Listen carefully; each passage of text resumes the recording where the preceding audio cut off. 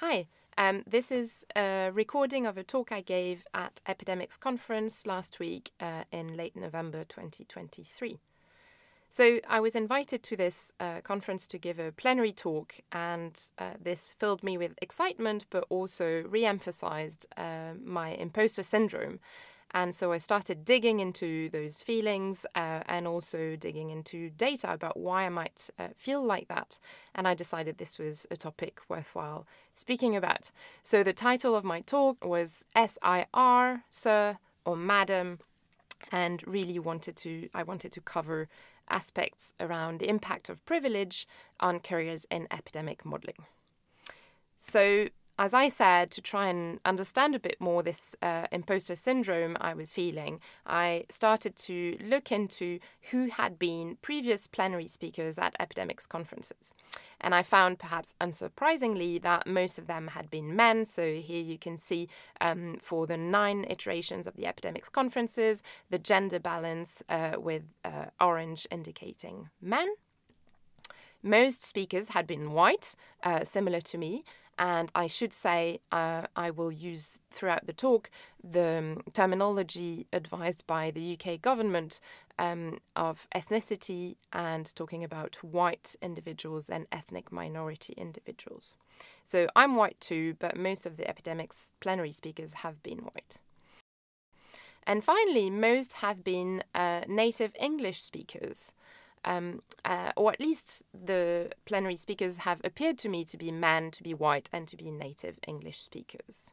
And when you cross some of those uh, uh, aspects, uh, you find that there is even um, less diversity. So, in case you like fun facts, and I've got to thank Amy Wesolowski uh, for these statistics. Um, Amongst all plenary speakers uh, at epidemics conferences, there have been as many people called Mark as people from ethnic minorities, or at least this was true up to Epidemics 6 conference. So I thought I need to look further in time, and in fact, across all epidemics conferences ever, there have been more speakers called Mark or Mark than uh, ethnic minority women speaking in plenaries. And closer to uh, me, there have been more people called Mark, John, or Brian giving plenaries at epidemics than non native speaking uh, women like me. So diversity has been really quite poor, but it does seem to be getting better. And the question I wanted to ask is is it likely to continue to get better? I think we really are at a turning point where epidemic modelling is maybe becoming more popular. It's definitely been recognised as having uh, played a key role during the pandemic, um, and therefore I think it might be attracting more talents than in the past. But at the same time, um, I wonder to what extent modelling uh, epidemics is really attractive still. Pay is definitely not keeping up with inflation, especially in the public sector. Um, you can see here data from the UK showing uh, the recent increase in prices uh, in brown, um, and you can see that this increase has not been matched by um, private sector pay and definitely not by public sector pay. Um, data from the US, more specifically uh, in academia and looking at life sciences, shows a similar trend whereby um, the salaries uh, in academia circled in red here you can see are below average uh, when you compare to uh, the average job and in particular compared to jobs in the industry or even in governments. In addition, I think uh, our community is still suffering from trauma um, after the pandemic. This uh, shows results of a survey that um, asked uh, scientists who were involved in uh, working on COVID 19 and had interactions with either media or social media what had been the impact of those uh, interactions. And you can see the grey bar shows that only 30% of the respondents said they had not suffered any uh, negative impacts of such interactions, uh, meaning that 70% of them had and you can see that 15% of the respondents had received death threats. Um, so I'm not sure how attractive that is. This word cloud here um, is adapted uh, from work conducted by the London School of Hygiene and Tropical Medicine, where they asked UK based uh, infectious disease modelers who were involved in the real time analysis of uh, the pandemic how they felt about the experience. And you can see overwhelmingly negative uh, comments. So this led me to think about what uh, this room, the audience of Epidemics uh, conference, would look like in 10 years. And my hypothesis is that um, it's already a room full of highly privileged individuals uh, with little diversity, but that this would uh, be likely to be even more the case in 10 years because less privileged individuals would be more likely to quit. Um, and again, uh, diversity was likely to be even um, uh, more reduced than it is now unless we actively work to promote it. Why does it matter, you may ask? Because I think because of the weight of privilege, we're missing out on talent and on diversity. And diverse working groups have been demonstrated to be more productive, more creative, and more innovative. So let's first start by defining privilege. There's been many definitions of this word, but I like this uh, definition by Peggy McIntosh, who's a feminist and activist, who defined it in an essay which I recommend reading. Um, she defines privilege as an unearned advantage or an arbitrarily uh, awarded power. And she reflects on her own experiences, both of white privilege as a white person, but also of male privilege as perceived uh, by a female. She defines white privilege as an invisible wetness knapsack of special provisions, assurances, tools, maps, guides, codebooks, passports, visas, clothes, compass, emergency gear, and blank checks, which I think says it all. And she also highlights how gender and ethnicity are only two aspects of privilege. Um, and privilege is indeed uh, really multifaceted. I like this visualization uh, of privilege in the academic wheel of privilege, where each axis around the circle represents one aspect of privilege, such as gender, sexuality, or skin color.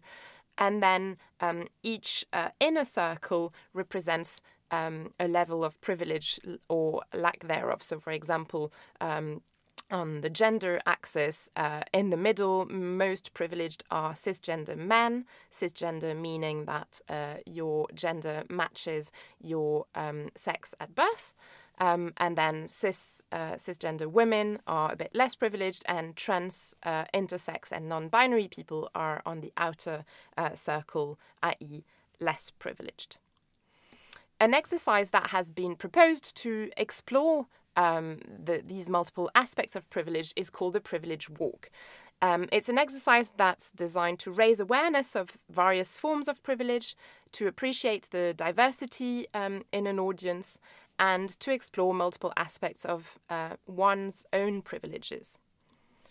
Usually, it's run physically and in a small group uh, where people are initially lined up and then they are asked questions about privilege. Um, and upon each question, individuals step forward if they are privileged with respect to that question, or backwards if they're not privileged with respect to that question. And at the end, people look at where they stand in the room compared to other people and reflect on the experience. Obviously, I could not run uh, such an exercise with 800 people in the room at Epidemics Conference. Um, so, what I did was uh, running a simplified virtual version of the Privilege Walk. Um, I did start by a few disclaimers, which were that I hadn't received any training to run this exercise, that I was going to ask personal questions, um, so uh, not forcing anyone to participate, um, and reassuring people that the answers would be fully anonymous.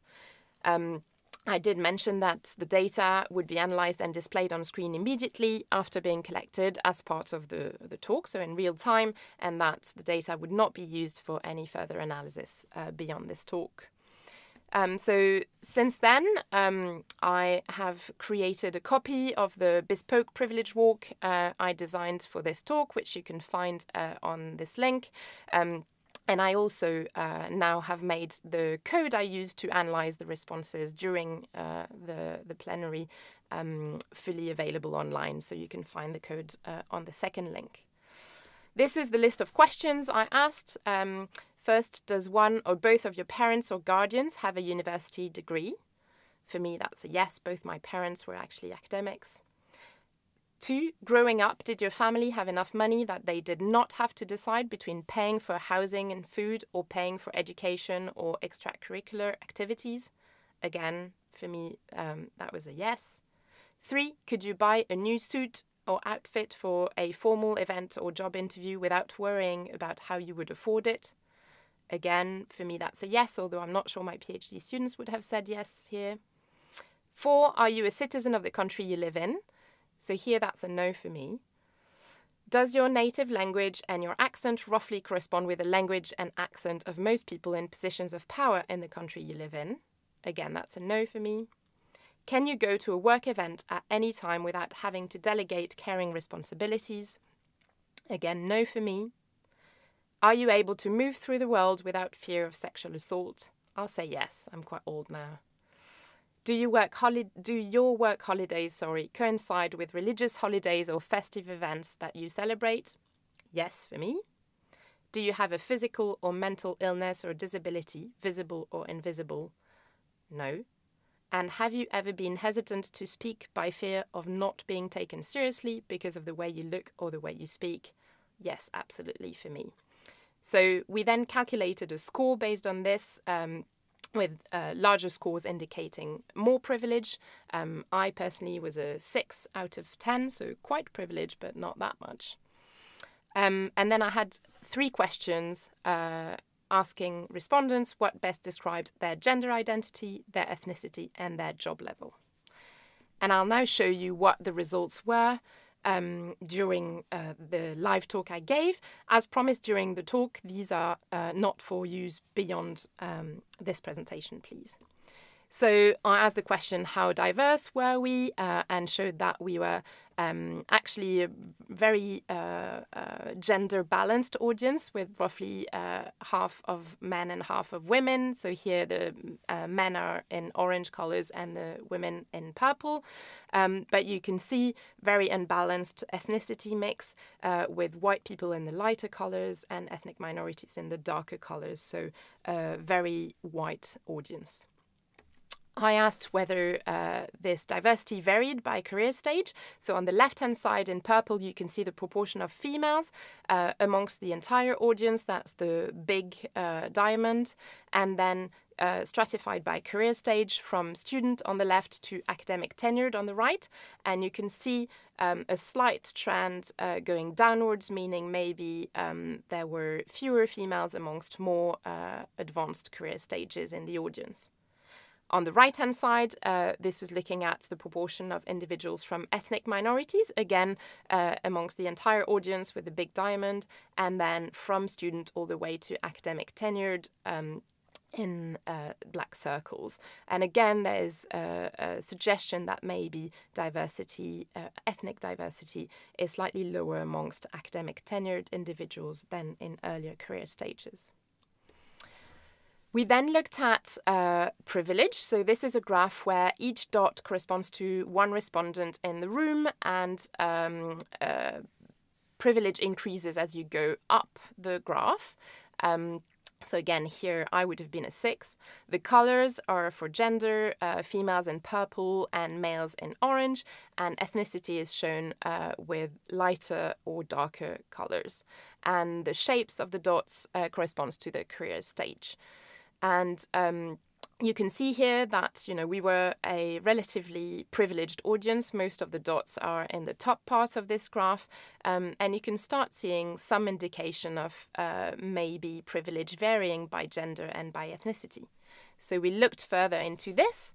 Um, here, the left-hand side graph summarizes the distribution of privilege uh, amongst the two genders and uh, by ethnicity. Again, purple is women, orange is men, and lighter uh, colors are for white individuals. So you can see a very clear indication of higher privilege in men and in white individuals.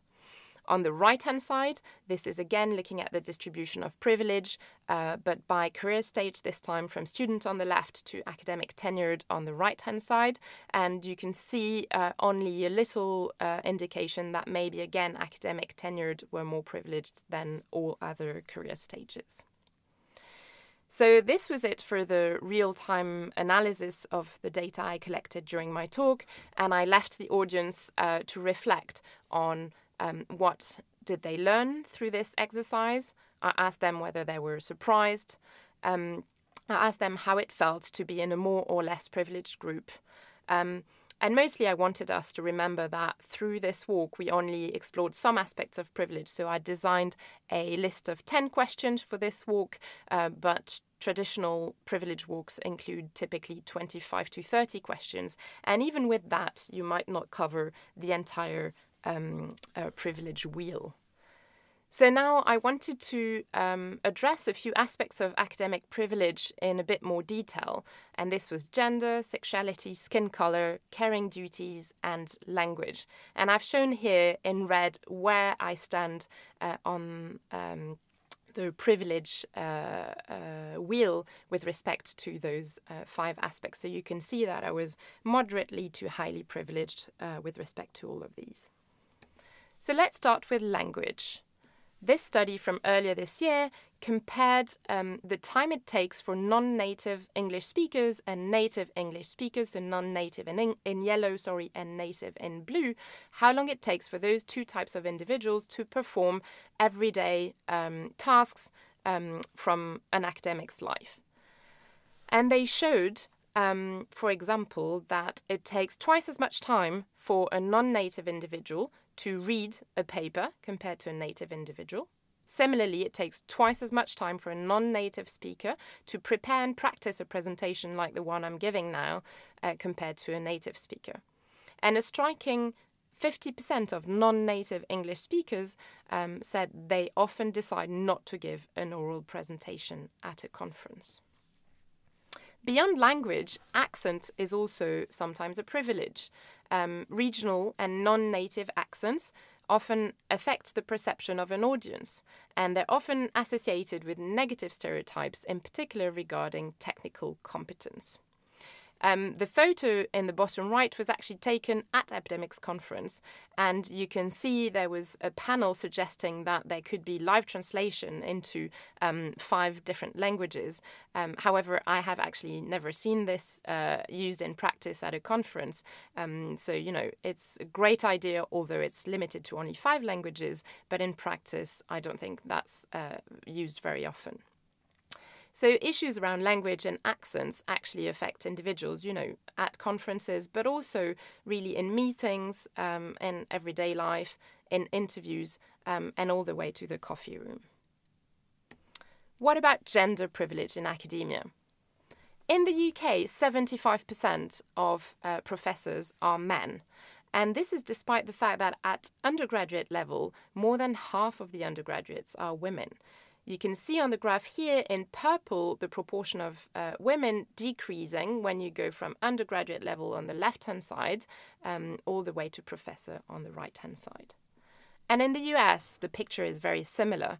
Uh, this is a paper uh, showing the proportion of women at different career stages post uh, counted in years post PhD. That's the x-axis, and the uh, the whole of academia is shown in blue, and the different colors show different fields of research. But across all of the uh, fields in academia, you can see um, a striking decrease in the proportion of women as you get to more advanced career stages.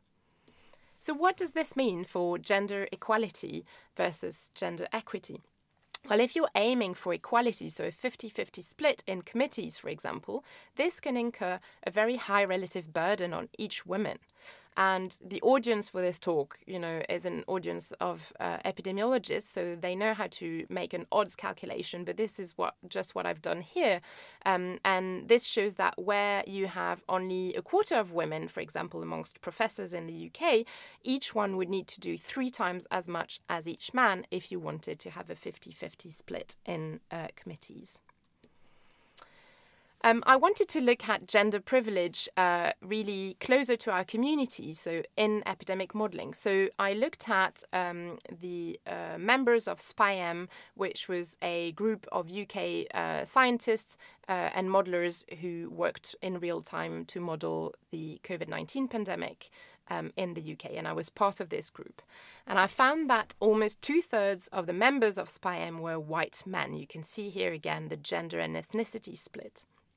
And um, I wanted to uh, see how this compares with the U the UK census because I had a, a good prior for what the uh, gender distribution should be, but not really the ethnicity, the ethnicity distribution. And this is um, what the UK census looks like. So you can see that uh, um, was maybe a little bit underrepresenting ethnic minorities in dark colors compared to the census. Um, but more strikingly, females um, or women were uh, much uh, underrepresented in SPI-M compared to the UK population. Colleagues from the University of Georgetown also looked at uh, gender privilege uh, in epidemic modeling by looking at publications in our field. And they found that most publications in our field have a male first and last authors. And this is the uh, blue purple area in this graph. Time is the x-axis, so you can see the proportion of man-man paper is slightly decreasing, but is still making up about half of all the papers in our field. And one can wonder if this is just because there are more men in our field, uh, but I'll show you in a minute that that's not the case. Uh, these colleagues also looked at uh, the citations of these papers and found that the men-men papers were more likely to be cited compared to an average paper, and uh, that in fact the papers where the first and last author uh, and sorry where the first and last authors are women in brown were much less likely to be cited than any other paper. Again, looking a bit closer to home, um, we analyzed data from our own department on publications by researchers in our department and found that on average each man publishes more, and that this is true at all job levels from um, research associate to professor. And the table shows um, the estimated uh, relative number of publications for a man compared to a woman. Um, and you can see that this is uh, much uh, higher than one in all author positions. Again, here, this is an individual measure, so this is not explained by gender imbalance, in particular at senior levels. This is also not explained by maternity leave. Um, we calculated that women should have had around five years of publishing break to explain the observed discrepancy, and that this would be um, uh, amongst uh, an average of nine years of experience. So, really, uh, probably not the main explanatory reason. Currently, we're exploring other factors that may uh, influence this gender gap in publication, including a potential gender bias in other areas of work, for example, um, teaching. And we had a poster uh, presented at Epidemics that explored um, these issues in a bit more detail. Colleagues from the London School of Hygiene and Tropical Medicine also looked at this uh, gender issue uh, using more qualitative approaches. They performed uh, 28 interviews and three focus groups with current and former UK infectious disease modelers, um, including uh, uh, men. They discussed perceived career barriers um, including some that were generic to academia, but also uh, some that were specific to infectious disease modeling. And those are the ones I'm going to talk about. And they found that these were actually exacerbated by COVID. So, uh, participants said that our field was a highly competitive boys' club where uh, one was expected to sacrifice um, non work commitments that there were pressures, for example, to engage in drink drinking in order to fit in and be provided with opportunities. There were also uh, a perceived hierarchy in backgrounds whereby individuals with a math or computing backgrounds, um, often associated with um, male gender, was perceived to be better than um, a background in, say, biology or public health, uh, typically perceived uh, as more likely to be a female background. All um, respondents, including men, acknowledged that there was a disproportionate amount of invisible labor performed by women and non binary people. And all these issues were perceived to be exacerbated by the low number of senior women in the field, um, such senior women being often thought to be repeating toxic patterns that they themselves experienced. What about ethnicity privilege in academia? Well, in terms of uh, ethnic diversity, this is very similar to gender, i.e., ethnic diversity decreases at advanced career stages. This graph shows data from the UK, and if you focus on the bottom set of bars, you can see how the proportion of white people uh, increases from undergraduate in red all the way to professor in blue. And at professor level, the proportion of white individuals actually exceeds what you'd expect from the census, which is the little black bar. Again, a very similar story in the US, where here, if you go from bottom to top, from assistant professor to full professor, you can see an increase in the proportion of white people um, shown in the dark uh, purple color. And again, at professor level, the proportion of white individuals exceeds what you'd expect from the US Census. But what I found interesting was also that actually studying ethnicity privilege in academia in predominantly white countries was really hard because of the small numbers in each minority ethnic group, um, especially if you wanted to stratify by other factors. Um, in our own work on publications, um, we actually found uh, that white individuals were um, publishing more than others, actually quite a lot more, with a median um, that was 11 papers higher for white individuals. But the ethnic diversity in our department was insufficient to fully explore this result, and in particular to stratify by job level. Uh, we have job levels where there are simply only white uh, individuals. Sexuality privilege.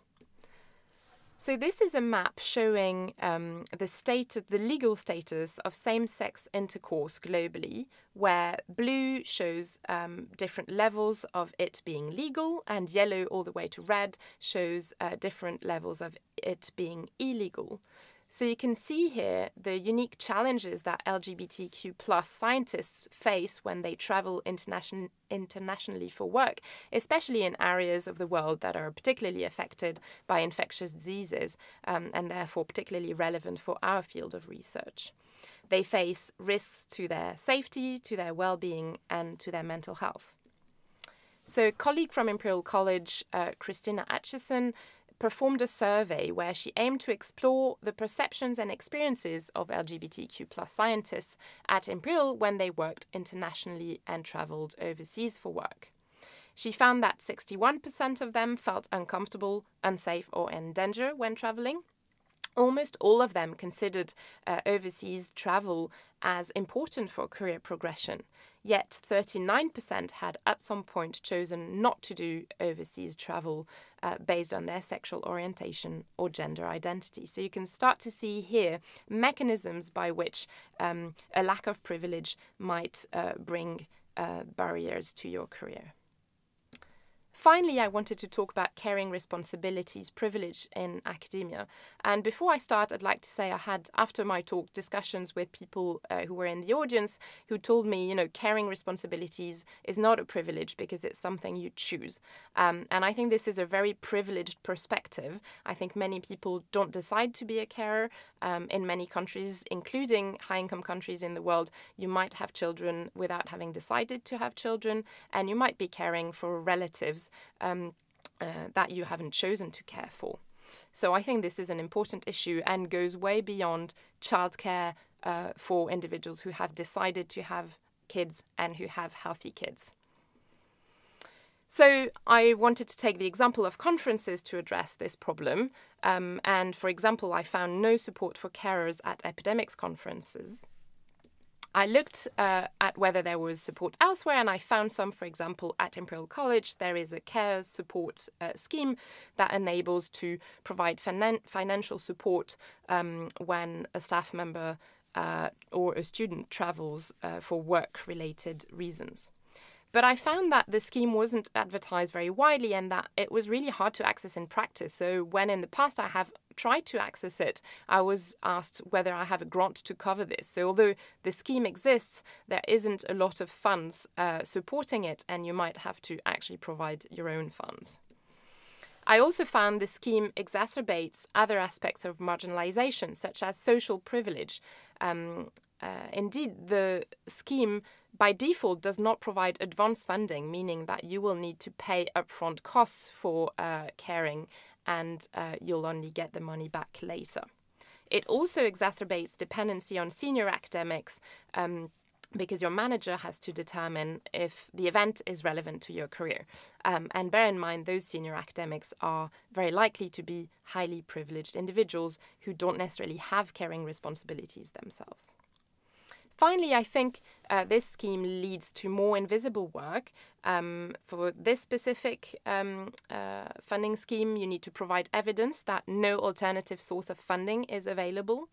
Um, good luck with that. And then, of course, you'll need to provide more receipts um, to demonstrate all the money you spent. I do think there is hope, though. Um, some conferences do offer support. In our field, for example, the IDD conference does, which is great, although it's not perfect. Uh, for example, it seems that it's only suitable uh, for those who are bringing the person to care for with them, which again works for a little baby, but maybe not for other types of caring. However, conferences are only a small part of a carer's work life, and uh, really caring responsibilities affect everyday academic life in multiple ways that I've found really often exacerbate other forms of marginalization. And this leads me to talk about intersectionality, uh, or the complex effect of overlapping facets of privilege. So, if you um, uh, experience multiple privileges or multiple lacks of privilege, um, and so you're in one of the overlapping parts of that diagram on the right. Um, what intersectional intersectionality means is that you might actually um, uh, face hurdles that are not just the sum of the hurdles that you would experience if you were only in one of those circles. And I think uh, this effect has been uh, uh greatly exacerbated by COVID. So I don't want to be all pessimistic. Um, so let's talk about solutions. I think solutions will come from uh, many actors, um, uh, you know, playing a small part into a big problem. Um, and if you're an academic listening, uh, you'll be sympathetic with my attempt to uh, match um, my description or my talk to uh, the terrible acronym I chose for uh, the title of my talk. So, the talk was entitled From SIR to MADAM. So, uh, MADAM standing for Momentum, Awareness, Dissemination, Action, and Mitigation. Momentum. I think there is a momentum and I think we should keep it.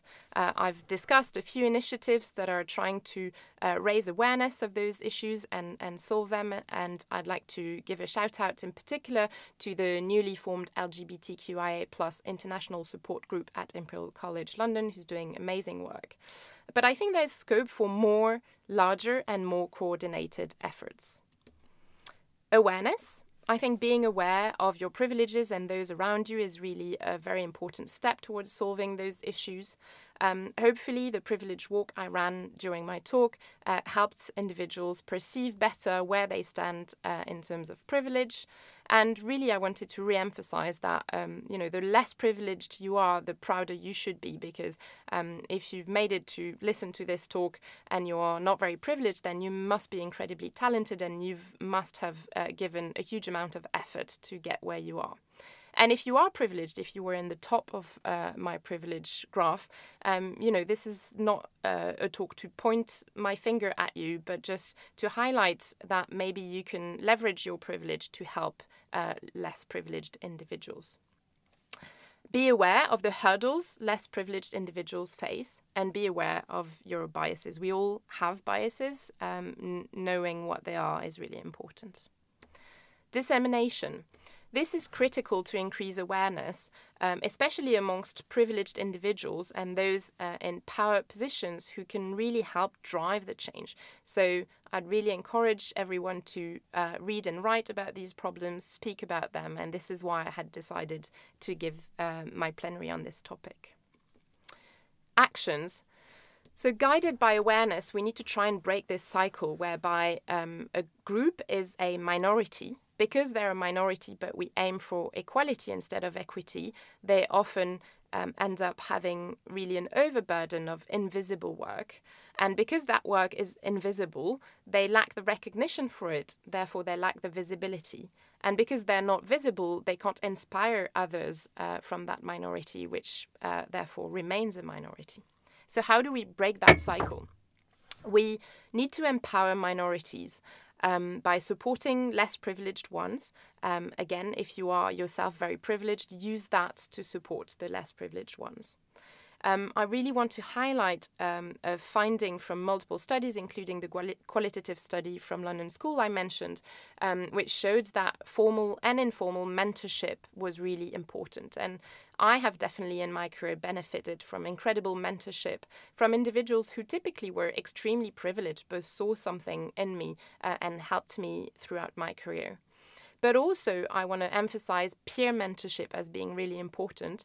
Um, I, in the last few years, have engaged in peer mentorship with a group of other mid career women um, in academic uh, epidemic modeling, and their support has been really invaluable um, to uh, support my career.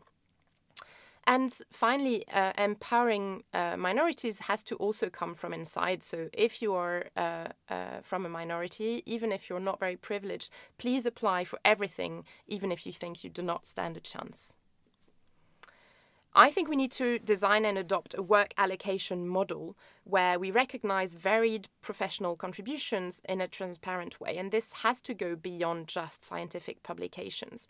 And we need to say, to state really clearly what is each contribution worth. So if I teach 10 hours, how many uh, papers uh, is that worth? Or how many uh, committees I sit on is that worth? And we need to collect quantitative data to monitor equity better. And this has to include exit surveys so that we understand why individuals might be leaving the field. Finally, we need to actively showcase and perhaps even exaggerate diversity. So, in conferences and committees, we obviously want to aim for diversity and seniority. It's so great to have um, a senior representative of a minority speak at a conference, but sometimes it's hard to get. And so, I think when you don't manage to get that, please aim for diversity rather than seniority and invite someone from that same minority group who is less senior. If anything, you'll help them become more senior. Please refuse to speak on all white or all men panels. Um, and of course, recognize conferences and committees in your work allocation model um, to break this cycle. Finally, and I'm saying this because I attended a conference uh, earlier this year where um, really this was not the case.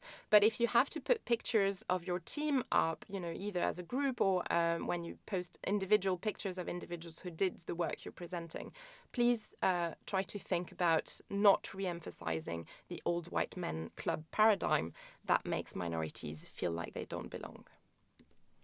Finally, mitigation of biases and privileges we need to mitigate bias, whether conscious or unconscious, and there's existing and great training to do that.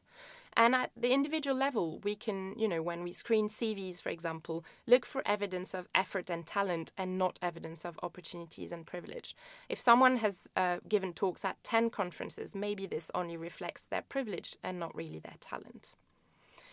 Um, and I think, you know, we, we're epidemiologists. We spend our day uh, uh, correcting for biases in data. So let's do the same uh, when we think about privilege. We need to mitigate the lack of privilege, and we can do this again with training. For example, we can uh, provide language support to those who need it. And we need to lift barriers um, associated with privilege, whether they're concrete barriers or self imposed ones. So, in, in terms of concrete barriers, I'm thinking, for example, of providing support for carers or for LGBTQ plus individuals who are traveling internationally. In terms of self imposed barriers, well, we know, for example, that women are less likely uh, to put themselves forward. Um, and so we could, for example, make application to promotion mandatory on, or automatic to remove this um, self imposed barrier. So, in conclusion, privilege underpins career trajectories in addition to and beyond talent. And all data, no matter how we look at it, points to it. This is true not just in other fields, here too, and actually in our field it has been exacerbated by COVID.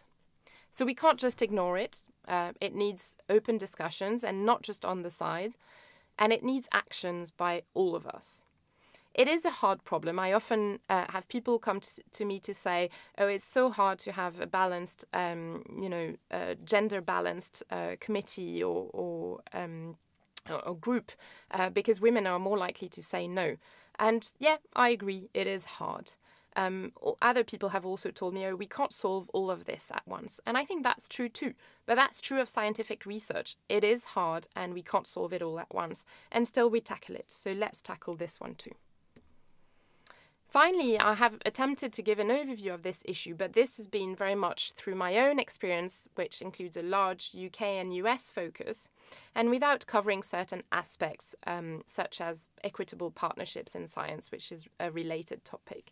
But I hope this is just the start of the discussion, and based on what I heard um, uh, of discussions at the coffee uh, and and drinks at the conference, I'm uh, very pleased to see that maybe uh, my talk has generated more discussion. Final thoughts. Um, I really like this graph from a paper from Christophe Fraser and colleagues, and uh, just had to use it. So um, for those of you who don't know it, have a look at the paper. Uh, but I think we can summarize what are the factors that make an infectious disease epidemiologist or modeler successful in terms of two axes. On the x axis uh, would be increasing epidemiological talent or effort, and on the y axis would be increasing privilege. And my point is that uh, the people we see as successful are uh, in our field are mostly in that top right corner, so the green people. And those are successful people who can really help nurture less privileged talent.